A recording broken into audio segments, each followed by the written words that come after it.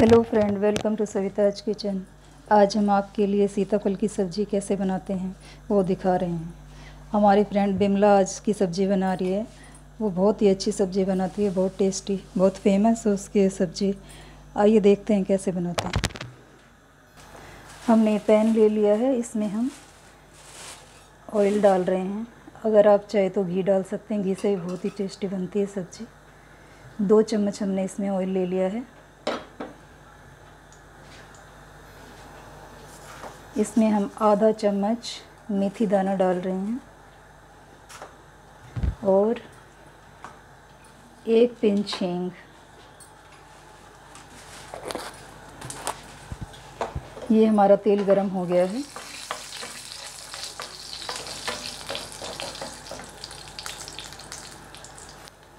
मेथी हमारी हो गई है, अब इसमें हम प्याज डालेंगे। ये हमने लंबा लंबा काट के दो प्याज ले लिए हैं। जो हमने लंबे लंबे काट लिए हैं। अब इनको हम मीडियम टू स्लो आँच पर धीरे धीरे पकाएँगे।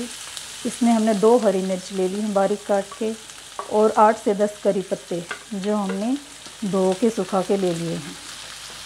अब इनको हम धीरे धीरे धीमी आँच पर भूनते जाएँगे। पाँच से सात मिनट इसमें लगेंगे, लेकिन हमारी सब्ज़ी बहुत ही टेस्टी बनेगी। ये हमारे प्याज हो गए हैं, हल्के ब्राउन होने करने हैं पहले। ये देखिए, हल्का सुनहरा रंग इनका हो गया है। और अब इसमें हम ये सीताफल, पेठा जो भी आप कहें, हमने आधा किलो लिया है, इसको हमने छील के, काट के, धो के तैयार कर लिया है और अब हम इसमें डाल रहे हैं। अभी हमने इसमें कोई भी मसाला नहीं डाला है। हम इसको इसमें डाल के और थोड़ी देर के लिए प्याज के साथ इसको फ्राई करेंगे। मीडियम टू लो आँच पे हम इसको भूनेंगे थोड़ी देर के लिए, पाँच से सात मिनट के लिए। ये बहुत ही टेस्टी बनाती है हमारी बहन सीताफल। दो की बजाय चार रोटियाँ खा जाते हैं सब। इतना टेस्टी लगता है। बोल के इसको डिमांड से हमें इसको बनवाना पड़ता है।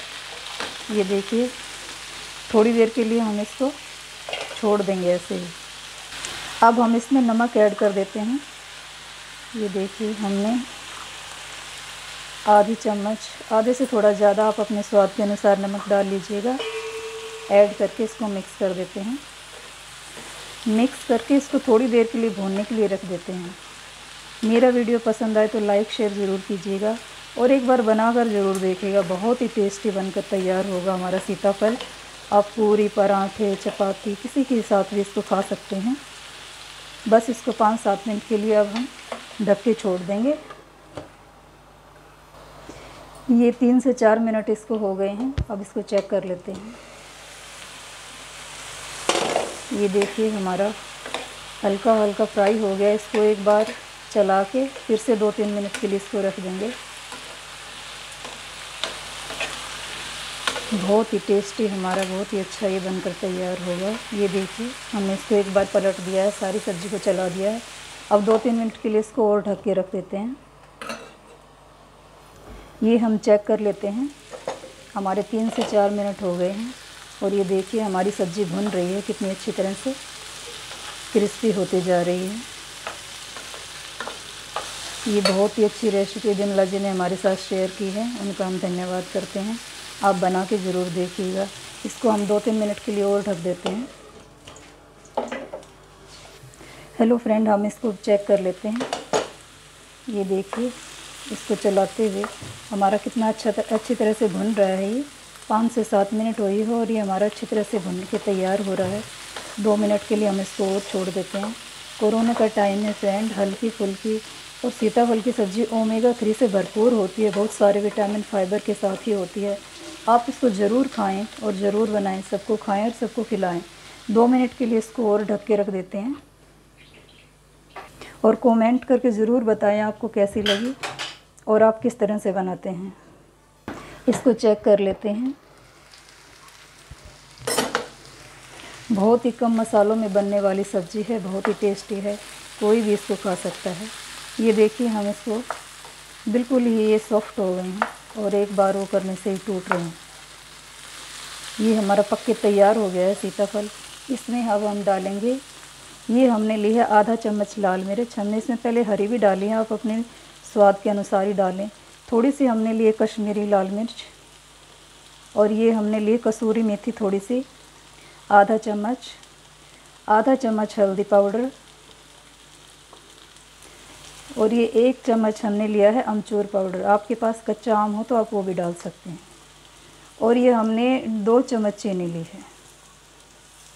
ये सारे मसाला हम इसमें डाल देते हैं।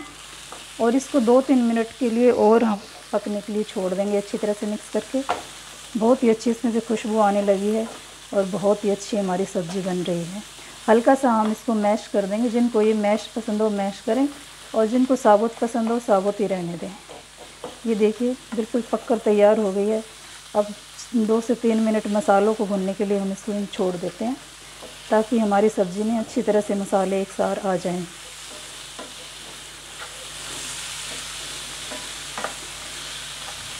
अब इसको हम ढक के दो तीन मिनट के लिए छोड़ देते हैं।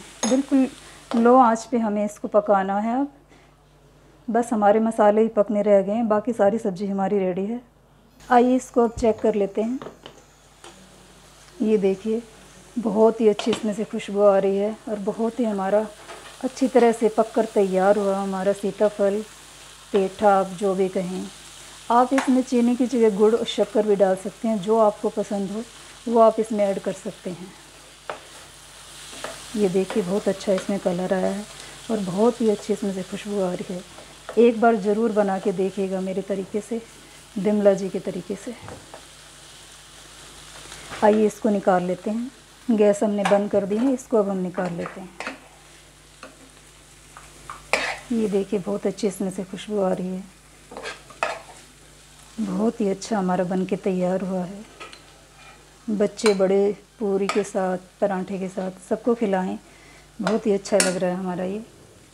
और धनिया से हम इसको गार्निश कर देते हैं। बनाइए, खाइए फ्रेंड। और मेरा वीडियो पसंद आए तो लाइक, शेयर ज़रूर कीजिएगा। और कमेंट में लिख के ज़रूर बताइएगा, मुझे बहुत अच्छा लगेगा। मेरा वीडियो देखने के लिए धन्यवाद, शुक्रिया।